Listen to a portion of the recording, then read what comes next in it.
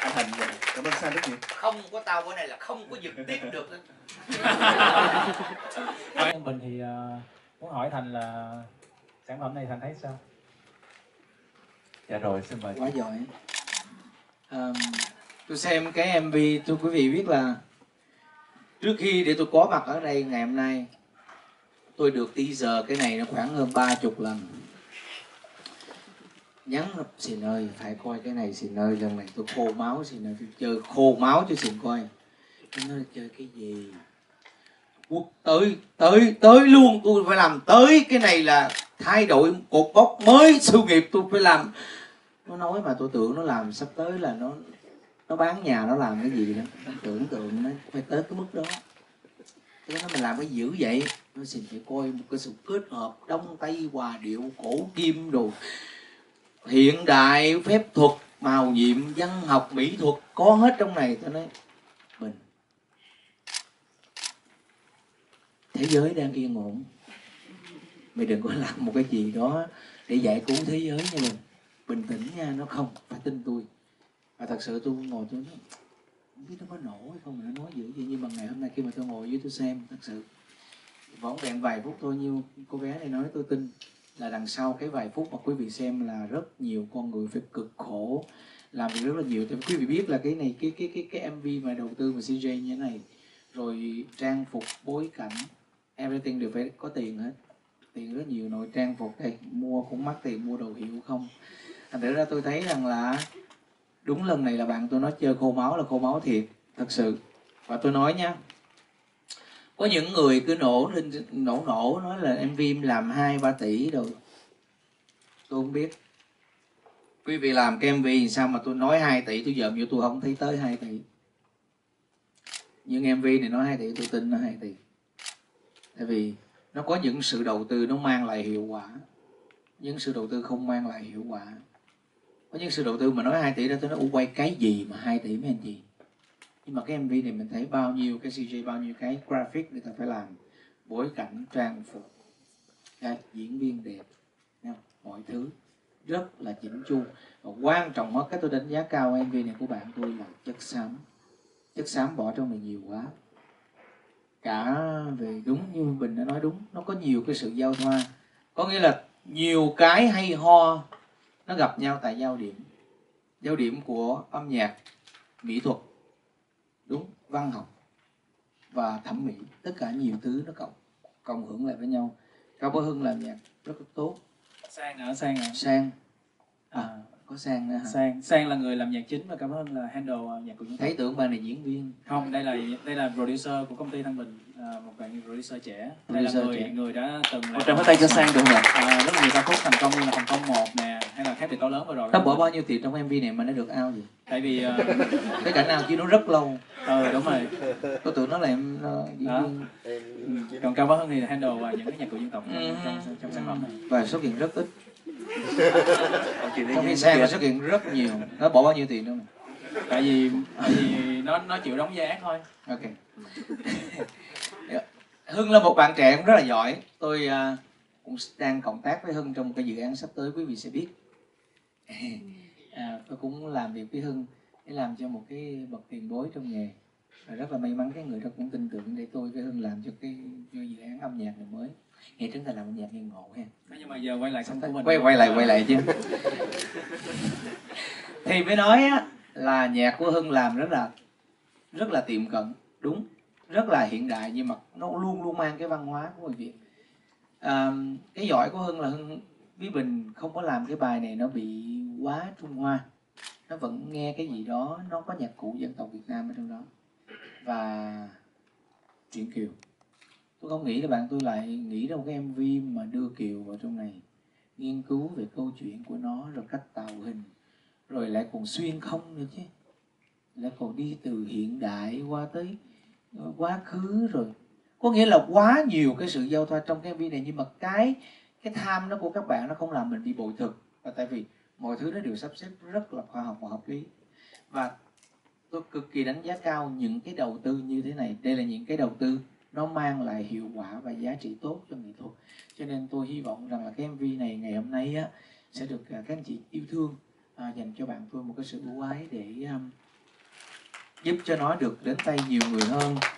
Và hy vọng là cái sự đầu tư này của bạn tôi nó sẽ hiệu quả. Dạ vâng. Đúng như bạn nói đó từ hán việt nó có ờ, nhiều cái phép nhiệm màu lắm. Cho nên là tôi hy vọng là cái MV của bạn nó cũng sẽ giống như vậy, nó sẽ được người ta khám phá, xem đi, xem lại, rồi tìm kiếm trong đó những gì mà mọi người đã đóng góp cho nhỏ vào trong đó. Một cái gì mà quý vị xem qua một lần, nó chán liền, thì thôi, không có gì để bàn.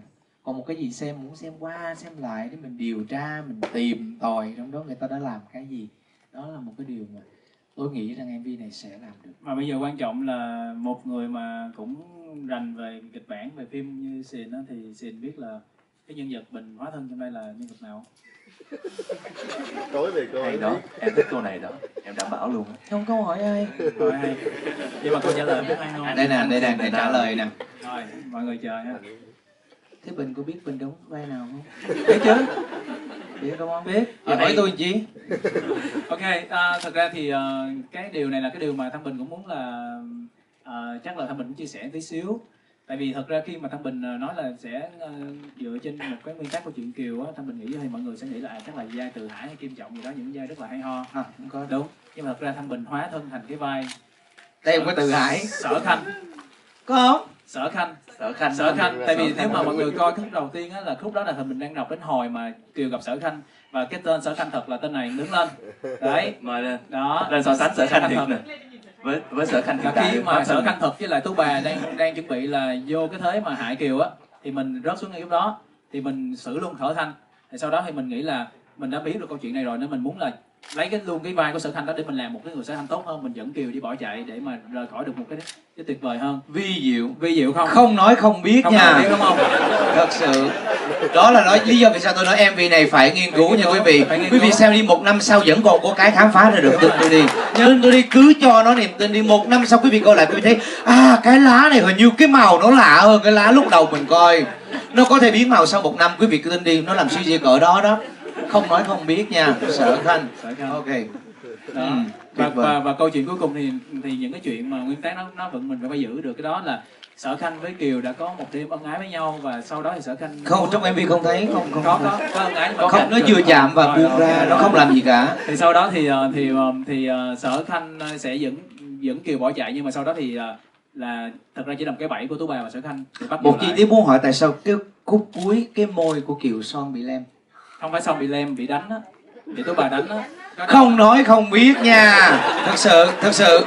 Bị đánh mà chỉ có trôi một miếng nhẹ tôi được với là bị hôn hay bị gì. Bị đánh phải không?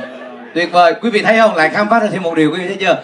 Cứ cho nó niềm tin đi từ đây tới tối sẽ có rất nhiều điều để khám phá ra nữa trong cái mv này. Mình hy vọng là chúng ta cũng ờ, sẽ tạm thời mình biết cái này để mình biết để sau này có nếu mà có những cái thông tin mà nó trái chiều thì nhờ mấy anh chị ờ, qua câu hỏi cuối cùng là cái thằng bé ở trong cái câu chuyện nó có trở lại với đời sống của nó hay không? Hay là nó sống ở trong cái câu chuyện đó luôn? Thằng bé này á hả? Cái thằng bé mà trong này. Thằng bé không thằng bé này không có gì để hỏi đã. Để- thằng bé trong kia. mà rớt vô, vô đúng không? Ừ. thì thực ra ở đây á, nếu mà nếu mà nếu mà mình nói về về kịch bản á, thì mình đang làm một cái kịch bản rất là mở. Có nghĩa là tại sao mình lại chọn cái không gian là không gian mà rất hiện đại và nó nó khoa học công nghệ đến nỗi mà chúng ta nghĩ là chúng ta có thể xuyên không được bằng cỗ máy thời gian hoặc bất cứ một cái gì đó. Nhưng mà một cái điều mà chúng ta phải hiểu được ở đây không nó nó là mơ hay xuyên không? Đó là cái vô thực vô thực vì sao? Tại vì không nói không biết luôn nha. Quý vị thấy chưa? Vâng là tại vì câu chuyện là như nè chúng ta không thể xuyên không vào một câu chuyện được tại vì chuyện kiều là chuyện không có thật. Chuyện kiều không có trong lịch sử chuyện kiều chỉ là một câu chuyện của những cái tác giả người ta viết ra thôi. Làm sao biết nó không thật? Biết đâu nó có đâu đó trong một thế giới nào đó nó ok thì trong một thế giới nào đó thì đó đây là một cái thế giới nào đó. Mà không phải là thế giới đó. Rồi rồi à, hai thế giới tuyệt vời. Quý vị thấy không? Càng ngày quý vị sẽ càng thấy là cái mv này đi gần với tâm linh mình càng khám phá mình xem cái mv này mình tin cái gì nó xảy ra cái đó nha quý vị nha. Tin tôi đi. Một Nhưng mà- mv mang tâm linh đến với khán nhưng mà giả mọi người công nhận là cái thế giới của kiều này là một thế giới mà chúng ta chưa bao giờ nhìn thấy không? Đúng không ạ? Đây là một cái một cái thế giới mà mà mà thăng bình cảm thấy là dĩ nhiên kiều mà bị đánh mà chỉ có trôi nhẹ miếng son thì không ai thấy cả. Rồi ok. Yeah, ok. Nói chung là rất là cảm ơn. À khoan đúng rồi. Good question từ đầu tôi hỏi ô, cái bức bình phong nó xuất hiện ở đâu trong cái à anh thành xuất hiện rất nhiều luôn á biết biết biết mình hiểu nhưng mà nó là cái ý nghĩa gì á À, thật ra đây là ca khúc mà được đặt tên và được viết trước khi cái có được cái MV này ừ. và cái MV này nó được dựa trên những cái lyric và những cái ý tưởng của Thăng Bình. Ừ. À, thì câu chuyện bất bình phong ở đây á, tại vì ờ, ở đây thì thì Thăng Bình cũng nói sớm tí xíu tại vì đây là một cái cơ duyên khi mà Thăng Bình đang ờ, đang nghiên cứu về ờ, về từ Hán Việt á, thì vô tình Thăng Bình có có nghiên cứu về bất bình phong. Ừ. Thì ờ, bản thân mình cũng là một người cũng khá là thích là tâm linh và cũng rất là thích về những cái phong thủy á, thì mình có nghiên cứu được cái bất bình phong á, ngoài cái việc mà nó đang nó đang làm một cái ờ, một cái ờ, trong trong trong Bảo vệ. không phải trong ờ, nếu mà tính ra Việt Nam mình á Dạ. dùng bức bình phong thì mình đang nghĩ đây là một cái một cái cái màn che để mà che đậy một sự thật gì phía sau đúng không ạ nhưng mà trong ờ, trong ờ, gọi là không phải trong tâm linh mình đang nói về cái vấn đề mà, mà về ờ, không phải phong thủy luôn chưa phong thủy luôn. Trời chưa thích phong thủy. nói về vấn đề mà mà kiến trúc á. Kiến trúc! Đúng rồi. Kiến trúc tôi cũng định nói như vậy nha. Hay chỉ coi chỉ vô. đi đi về decor thôi Và ok. nói về decor đó về kiến trúc á thì bức bình phong nó giống như một cái vách ngăn. Dạ. một cái vách ngăn mà nó nó Chia có- hai gian nó- nhà. nó chia ra những cái không gian chúng ta mà nó rất là tiện lợi. Dạ. Nhưng mà trong phong thủy bây giờ nó nói phong thủy nè. Đây mới là phong thủy. Trong phong thủy thì các bạn có biết được là bức bình phong nó giống như là một cái tấm màn bảo vệ cho sức khỏe của gia đình bảo vệ cho tiền nó bớt ra. Tại vì sao? Tại vì hồi xưa ông cha ta hay nói là nhà cao cửa rộng đúng không nhà cao cửa rộng thì cửa càng to thì tiền vào càng dễ và càng dễ ra sức khỏe càng dễ đến và dễ đi. Cho nên bức bình phong luôn luôn có một cái một cái bức bình phong trắng lại ở những cản cửa. tiền ra và tiền cản ra, tà vô. Cản tà vô đúng rồi. Ok. Cho nên là đó là một cái vấn đề tâm nó về vấn đề mà phong thủy là như vậy. Thì thăng bình khi mà nghiên cứu về cái bức bình phong thì thăng bình có nghe được một câu là trực lai trực khứ trực ra được trực cái gì cái gì cái gì? trực trực lai trực khớp cái gì? Trực lai trực khứ. Cái gì? Trực lai trực khứ. Trực lai trực khứ. Có nghĩa nói là cho rõ thì nghe trực là- lai trực khớp cái có, gì? có nghĩa là dễ đến dễ đi. Dạ. Dễ đến dễ đi là trực không trực không phải là trực là thẳng chứ không phải dễ. Thẳng Ừ. đến thẳng đi rồi ok. Ừ. rồi thẳng đến thẳng đi. Đến thẳng đi thẳng. Lên thẳng đi thẳng. Cho nên là mình mới dùng một câu là trực lai trực khứ như thiếu bất bình phong ở đây có nghĩa là cái mối lương duyên của hai người này nó dễ đến thẳng đến và thẳng đi như là không có tấm bức bình phong che lại vậy đó. Ngụ ý là tình một đêm. Đúng rồi. Ờ, dễ sợ chưa? Tin tôi chưa? Lại phát hiện ra thêm một điều đặc biệt không rất nữa. là nhiều điều khác biệt nhưng mà thôi mình khoan. Có nghĩa là à về review.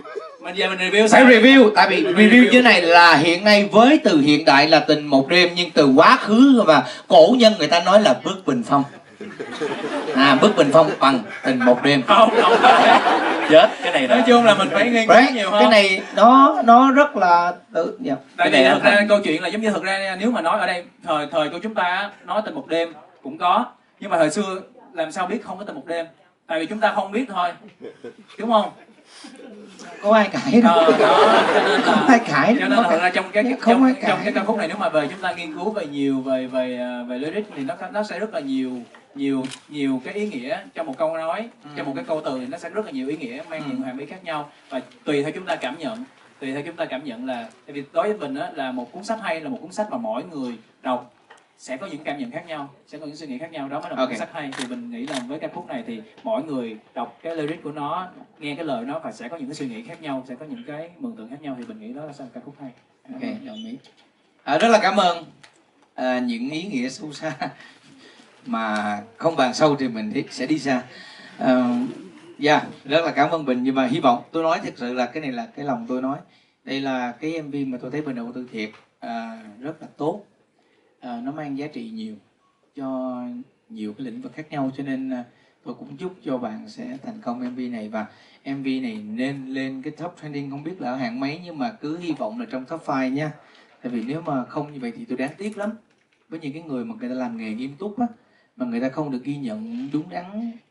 Tôi tôi sẽ rất buồn khi mà trên top trending của Việt Nam chỉ toàn là những MV mà quay sơ sài rồi. Dạ như quý vị đã biết thì tôi tôi hay là những cái những cái thể loại nói chung là nó nó nó nó không mang lại cái thẩm mỹ về giá trị nghệ thuật mà cứ nằm trên top trending thì tôi cảm thấy là chúng ta đang xem cái gì hàng ngày vậy à, thì à, có những cái tác phẩm tốt thì nên được à, người ta yêu thương nhiều hơn để cho những bạn bè quốc tế người ta nhìn vào cái top trending của Việt Nam người ta thấy ồ đất nước các bạn văn hóa nghệ thuật các bạn tốt nhỉ thì tôi hy vọng cái điều đó nó xảy ra Cảm ơn nhiều. Cảm ơn. Cảm ơn. Dạ. anh thành cảm ơn sai rất nhiều không có tao bữa này là không có giật tiếp được anh không nói không biết nói xong là mày đủ vậy một tràng tay lớn hơn nữa không biết là từ phía anh chị báo chí thế nào. Một câu hỏi kế tiếp rồi